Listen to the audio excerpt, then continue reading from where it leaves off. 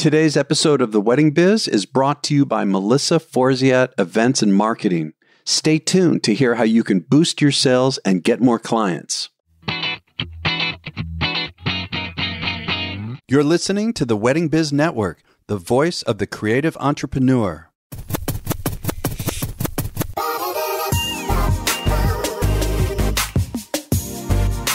Hey, everybody, it's Andy Kushner with The Wedding Biz, in which I conduct in depth and revealing interviews of icons and those who I feel are the next generation icons of the weddings and event industry. And this is all to provide you with education and inspiration. So, if you missed last week's episode, it was a revisit of a very inspirational conversation with filmmaker Brett Culp. Really applies to all of us. I highly recommend you listen to it. So, today's guest is KT Merry with KT Photography. She has been recognized for her industry excellence by top media outlets like Harper's Bazaar, Vogue, amongst others, and has built a thriving, incredibly profitable business that affords her the opportunity to also pursue her passion of conservation, using her art to protect the planet and save its most vulnerable inhabitants. Over the past decade, KT has evolved into a multidisciplinary creative with a highly profitable house of brands, including photographing luxury destination weddings and editorials around the globe. At one point in the conversation, she mentions Patrick Demarchelier. I hope that's I hope I'm saying that correctly, who just days later passed away. So enjoy this conversation with KT Merry. KT, thank you so much for coming on the show like this. I've been excited to talk to you. Same. I've been a fan of the podcast for a long time, so I'm very excited to be here. Ah, cool. I like that. So, you know where I want to start is that when I looked in your website and I looked at the About page, um, you have a quote which I thought was so interesting. Um, you said, "quote We've got a lot in common, you and I. We are adventurers, explorers, and seekers, searching for something more, something bigger, grander, and more beautiful than we've ever known before." My love and my work have been driven by this search for meaning, unquote. So it, it, it almost sounds to me like you've almost, like you've immediately described your avatar of the perfect client. Haven't you, in a sense? Yeah, absolutely. I, I think that on so many ways, our clients are not looking for, and I don't, I, it's hard to say that anybody's looking for, say, run of the mill or something superficial, but I think they're intentionally looking for something that is a deeper experience on in their lives as a whole, but then especially on, you know, some of their most meaningful celebrations as a whole. Yeah, and you emphasize like three words. Um, also, um, in the website, you, you talk about adventure, purpose, and soul. I mean, those mm-hmm. are just such emotionally charged and descriptive words. I love that. Mm, thank you. Yeah, and I really do. For me, it is so much more with our work and so much more all encompassing in terms of not just focused on specific details of a wedding day or the hours, the eight hours or 10 hours that they've contracted us. It, it really is a much deeper venture as a whole of bringing beauty into the world and intentionally seeking it out as well. Yeah. Well, and and also you've got another cool quote by Simon Sinek. You say the combination of your why and how is as exclusively yours as your fingerprint. Can you say more about that too? Yeah, absolutely. Well, I, I think it's really interesting when we think about our approach, and that's something that probably most photographers and creative entrepreneurs will will talk about a lot is how they do this or how they do that and how they do it differently than the others. And a lot of the times what we find is missing from that conversation is truly that why, that deeper motivation, uh, that deeper purpose of really what is uniquely driving them. And I think that oftentimes when we see the most powerful work there's a signature of that added. And even if you don't know the full story or the full motivation that you just see that level of passion or depth to work and that's what can really make it extraordinary. And so i think that when we're able to bring that into our work it not only helps us to perform at a much higher level and, and create more meaning for the people that we're creating it for but also it's just going to resonate more as a whole and have more impact yeah. So, what is the why for you? I mean, did you have a passion for photography when you were real young? How did this start for you? Yeah, really, it it did start kind of being a documentarian um, and just a creator as a whole. I've always loved creating from painting to pottery and eventually a point and shoot camera and, and later in a dark room in my high school where I really got exposed to it. And I had a photography teacher who really took me under her wing and, and really pushed me to take it to the next level. And really, I think what what kind of started it was this idea of just trying to capture a bit of the beauty in the world that was around me and really kind of bottle it up and vessel it, if you will. And that has has certainly continued and really then brought together my true why, which I'm really passionate about um, creating impact, about conservation, about our planet and endangered and threatened wildlife. And so I've really been able to, through this skill set that I've learned through photography and through learning and growing a business, been able to kind of merge all these things together. And that's where I think the the real kind of magic happens. Yeah, and I, I definitely later want to come back to your con- conservationism. Mm-hmm. Um, you know, I think that's real interesting. I want to talk about your fine art prints and all of that. But you know, coming back to when you were starting, I I read somewhere that you assisted some really major fashion photographers. Is that right? And that's where you got some really good insights. Yeah, after that photography high school class, I ended up at a, a competition. It was Vocational Industrial Clubs of America at the time, which was everything trade you could imagine from automobiles to photography, and ended up winning at a state level and then a national competition, which put me on the path to photography school. And in photography school, you kind of pick a, a direction or a niche. And at the time, weddings were certainly not what they are now. They were still in church basements with white right. tablecloths and yeah. uh, so i that, that wasn't even an option for me it was really okay i'm going to go and work for fashion photographers so i after photography school set out and just started knocking on doors and uh, at the time, also, it was a very, it still is, male dominated industry. And as you can imagine, as a photographer's assistant, your main occupation is carrying lots and lots of gear. Yeah. So, you know, being being a petite girl um, was, you know, not exactly boding well for me to get these jobs, but I um, am persistent and ended up working for quite a few fashion photographers and ended up traveling the world and, and then even working for some amazing photographers like Patrick Demarchelier and um, and others that just you know are considered some of the greatest of, of our time. So what let's just uh, with Patrick for a moment. Like sure. what did you learn from him? I mean, I'm sure there's a million things, but what, what really sticks with you today that you learned from him? Yes, uh, so interesting that you say that, and I've talked about this a lot. That um, he really was a master of delegation. I remember uh, one shoot in particular down on a Miami beach where we are there at, at sunrise and every piece of equipment you can imagine, makeup's going, all those types of things. And I think maybe it was more around like nine or nine thirty. You know, he shows up and literally walks straight from a car straight to set and starts shooting. And so he really did, um, especially I think in his older years, really became a master of focusing on what he could uniquely do and what his true superpower was. And also, um, he was a true craftsman in the sense that he wasn't really bothered by the fuss of you know which camera or which lighting thing. He kind of knew what he wanted, no fuss about it. And it was really about eh, guiding those models. And so I think I always just loved how straightforward his approach was. And I think sometimes as especially photographers with the tools and this mo- light modifier and this thing, we get so caught up in the details that we really sometimes miss that big picture. And I think he was a master of that. God, you know, it's interesting. While you're telling me this, I'm thinking there's a book that, or an audio book that right now I'm listening to.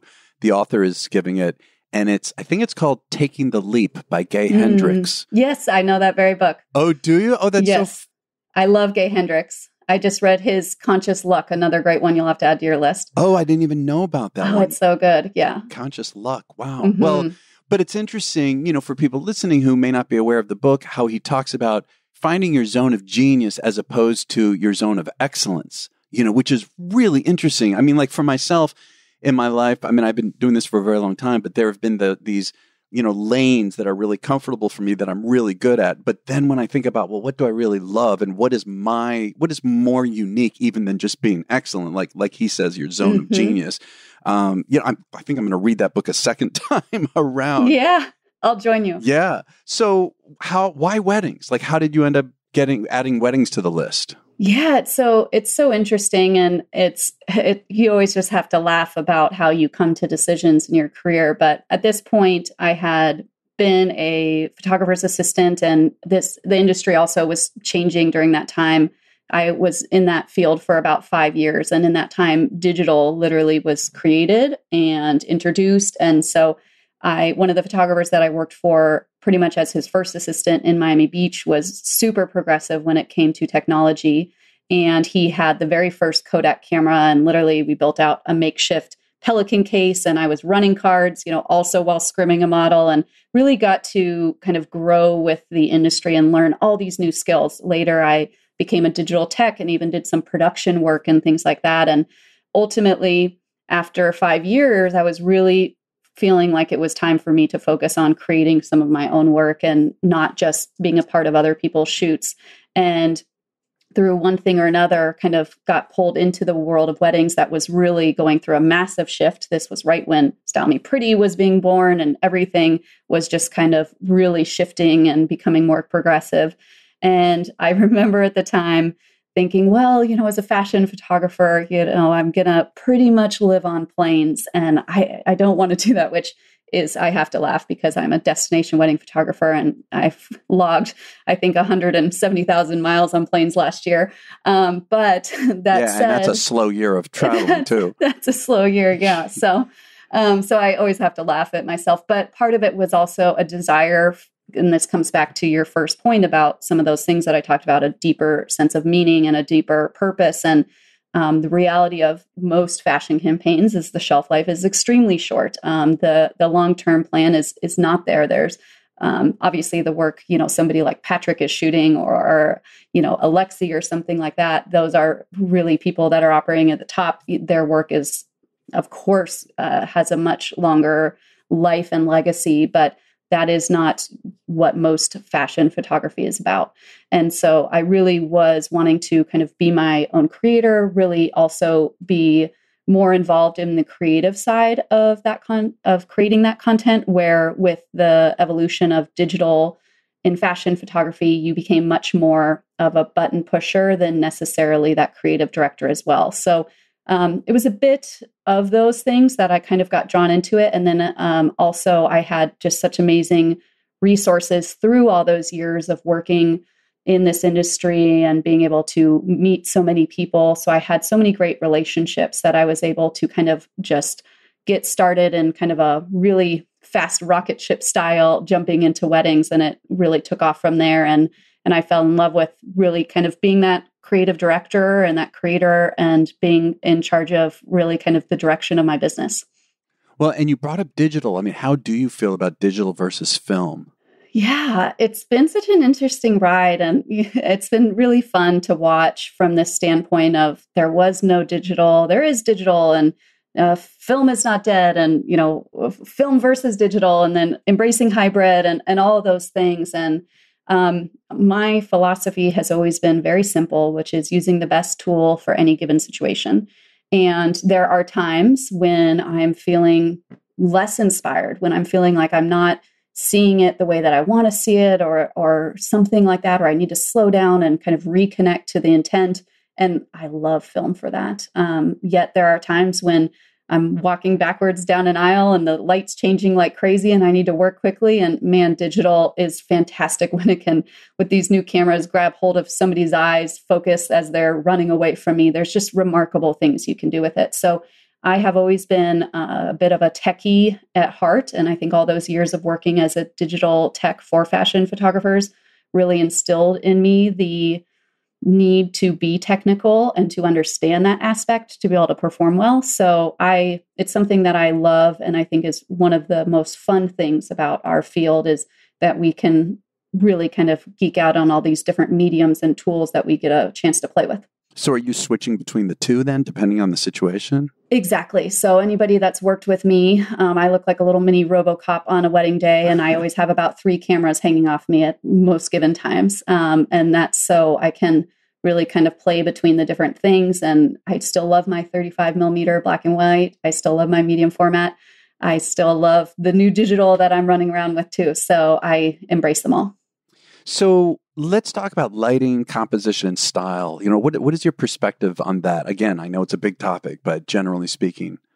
Yeah, it is a big topic and it's something that's evolved over the years. I think in the early years, it was really about I think, like most people, mastering the basics and really learning how to be consistent, how to be technically sound and, and efficient, and all of those things before starting to kind of push out of that comfort zone. And so once I really kind of had that signature style in place, once I really had felt technically, you know, the work is sound, it's solid, it's it's got a calling card, then I have continuously tried to push myself outside of that box and challenge the different approaches to lighting and I think that's what's most exciting right now in our industry is we see a lot more of that because the tools have allowed us to get more progressive to kind of push outside the box uh, to uh, even do things like have harsh shadows and harsh daylight together and even things like Lightroom and the different editing platforms we have are allowing us to do better work with that because the tools are simply allowing us to. Where I think in the past,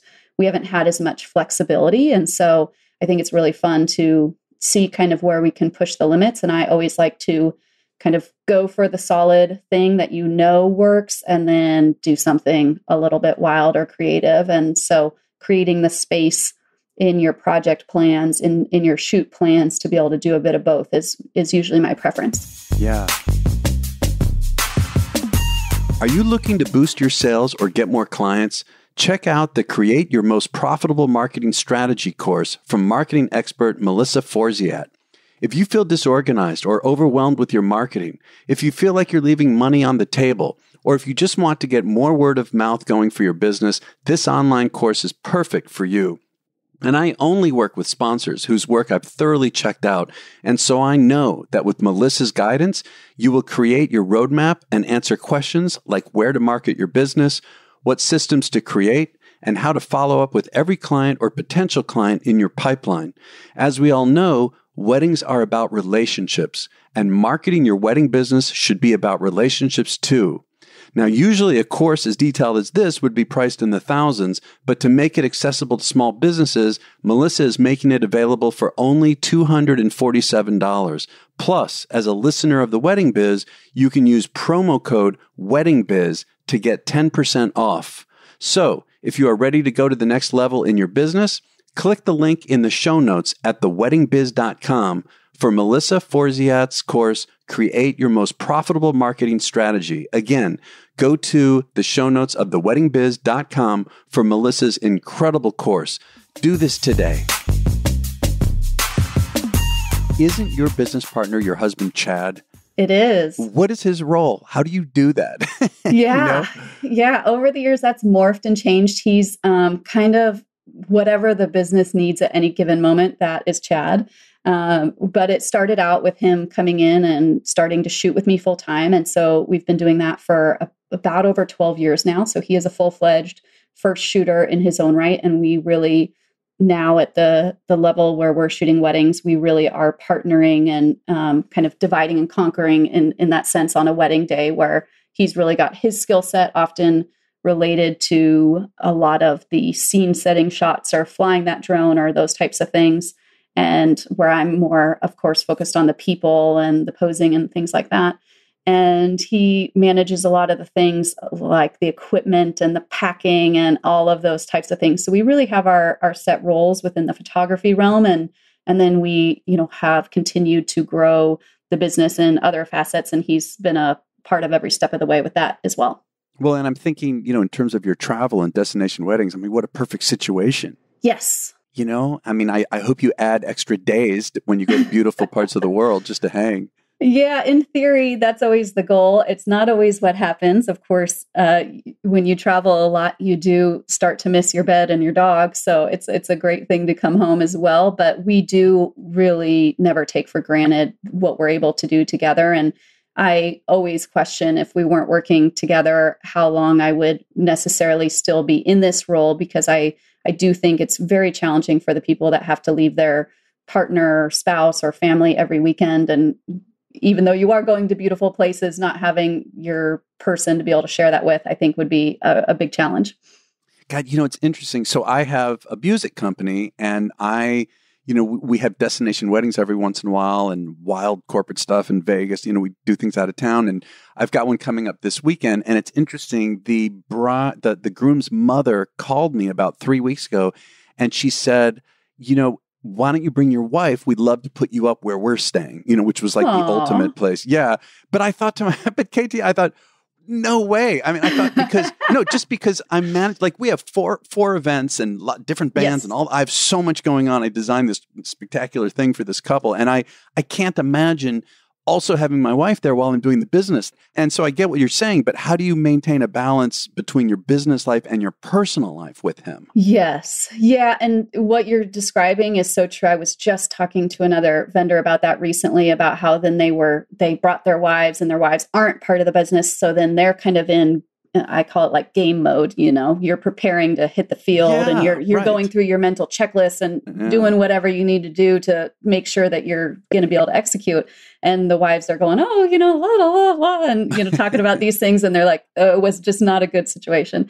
So I do think for us, um, we had to learn really quickly how to transition from we are just goofing off right now, and it's the end of the day, and we're having that glass of wine to we're talking checklists because we need to talk checklists right now. And so, what I think initially there was this idea that they do have to kind of be these separate things and there's this balance to it.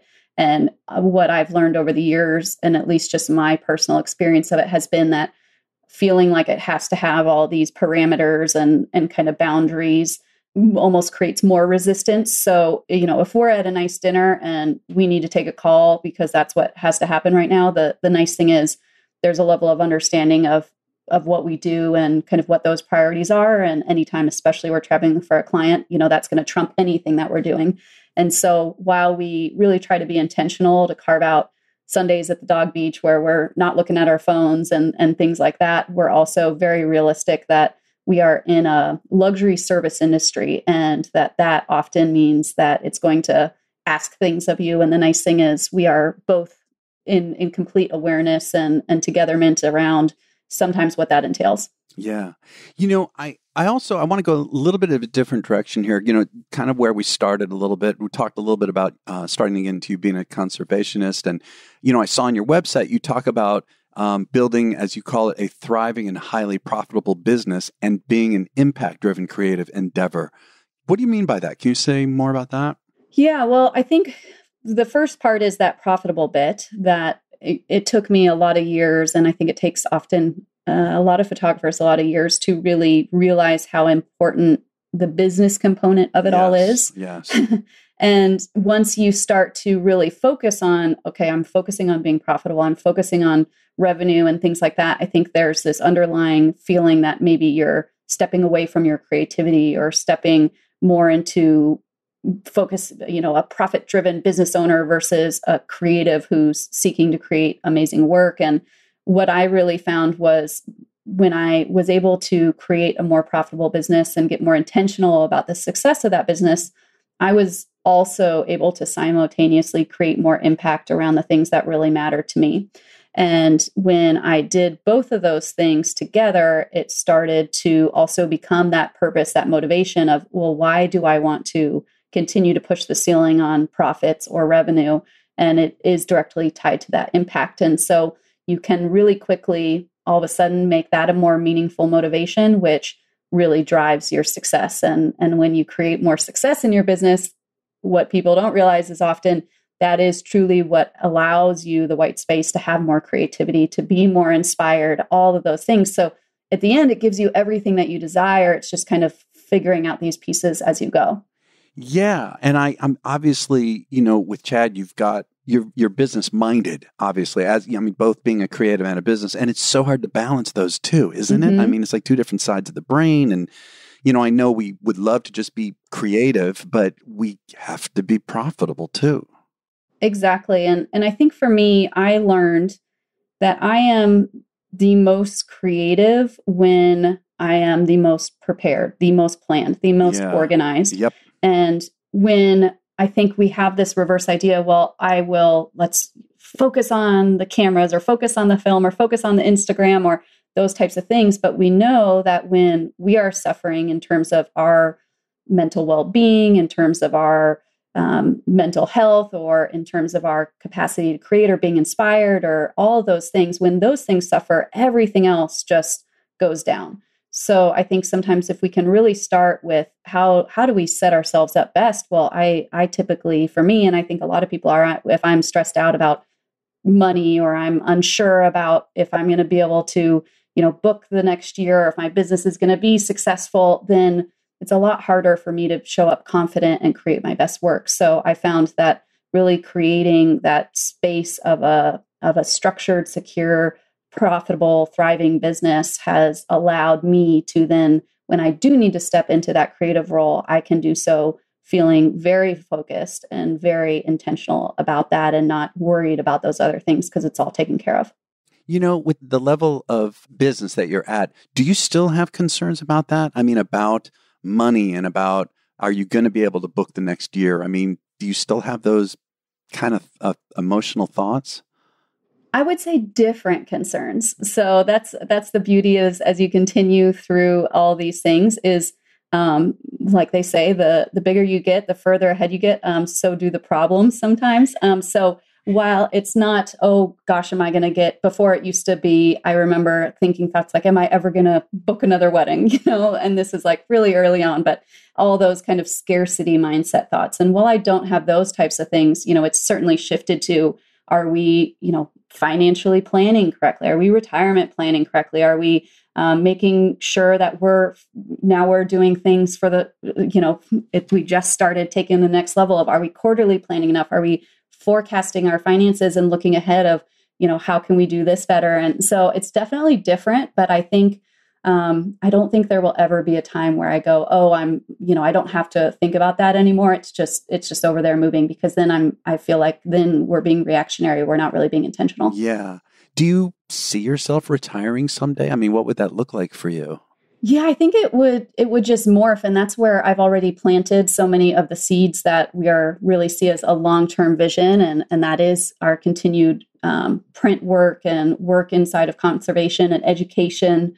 Uh, also continuing to shoot in different areas. So we've kind of returned to those fashion roots and done more editorial and lookbooks for designers and things like that. And so I definitely want to continue to push myself into different uh, creative arenas that challenge me and ask more of me in terms of lighting and creation and things like that, but also in different arenas. And that's why I love things like education or running an e commerce shop because they all do have their own unique challenges that wedding photography hasn't taught me. So I've I, I'm kind of a learning junkie. So that's my favorite part about continuing to expand into different areas.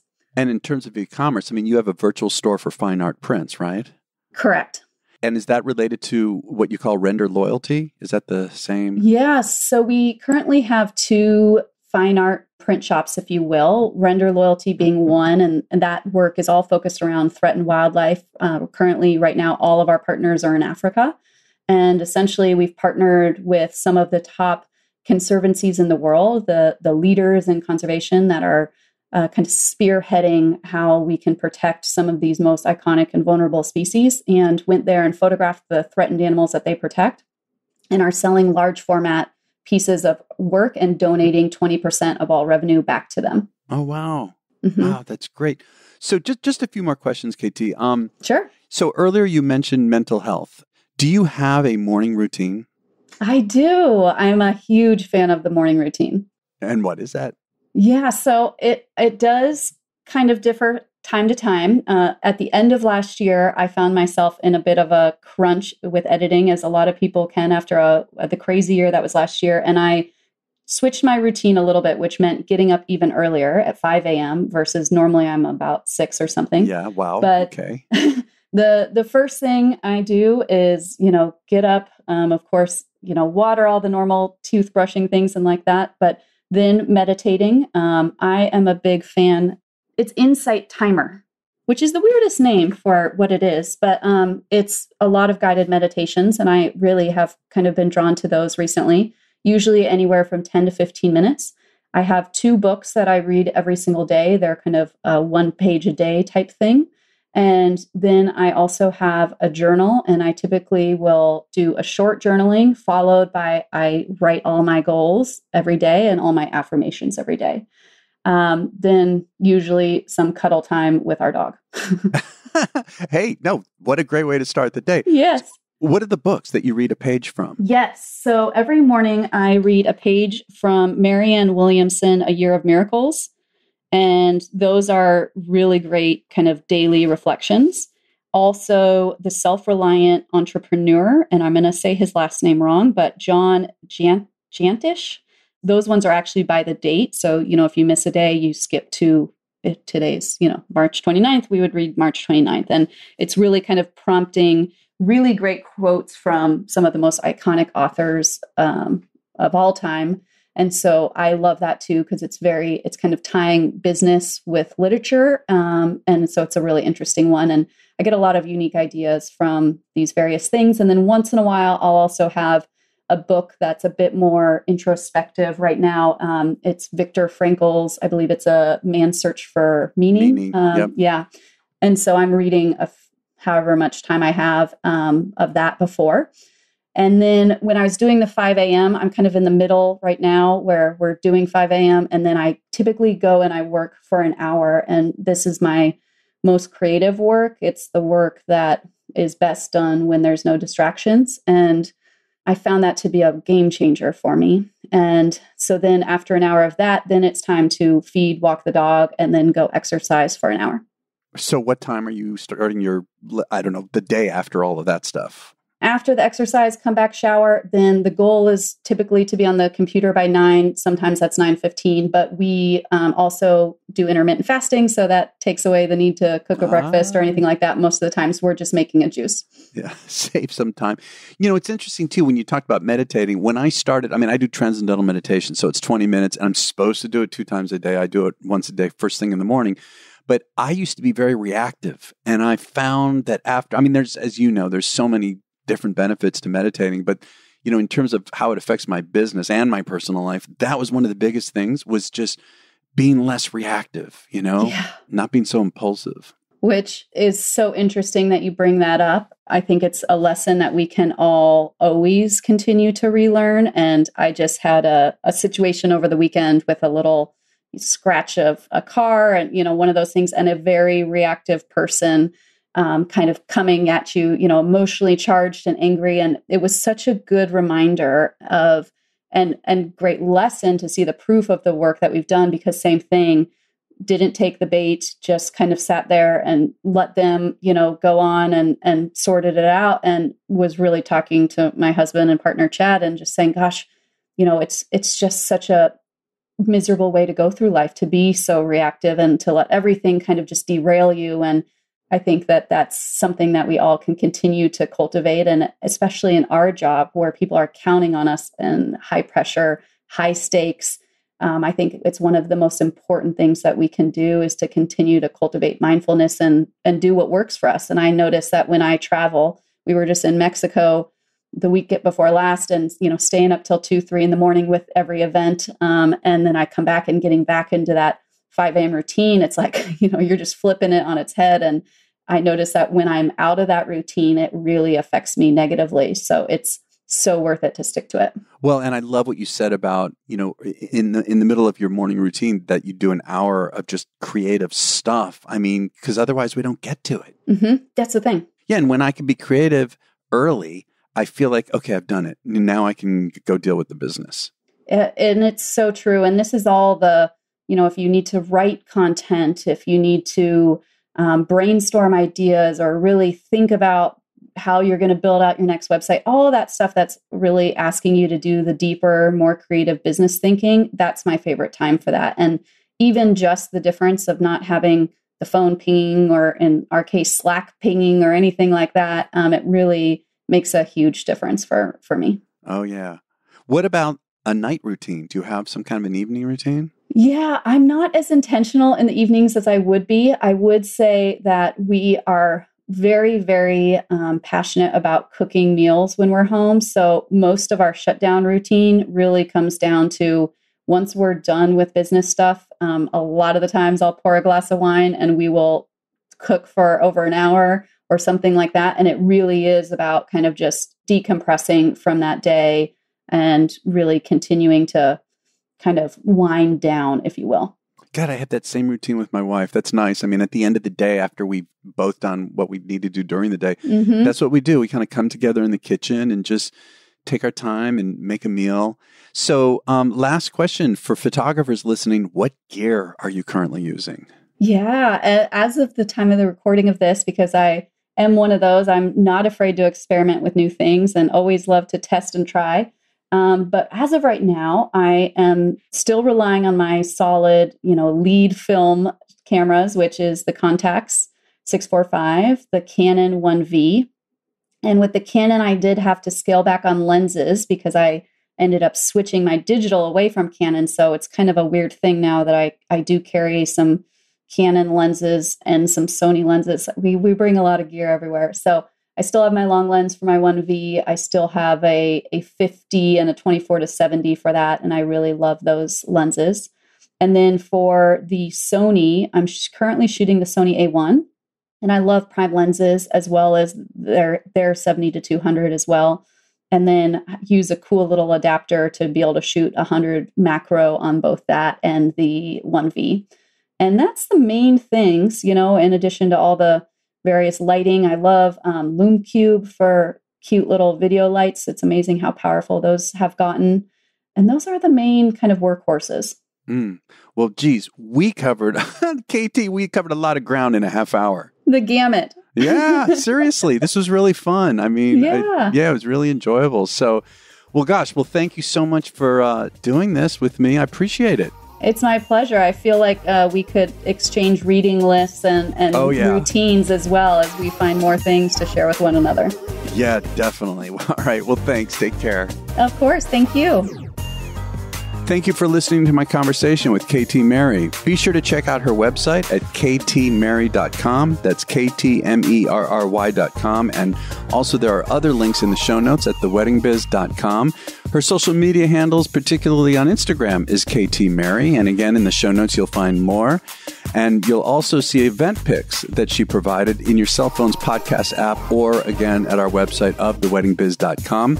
And if you can think of three good friends or colleagues who you feel would benefit from listening to this interview, please forward it around and give a top review wherever you get your podcast from, because that helps people like you to find the podcast.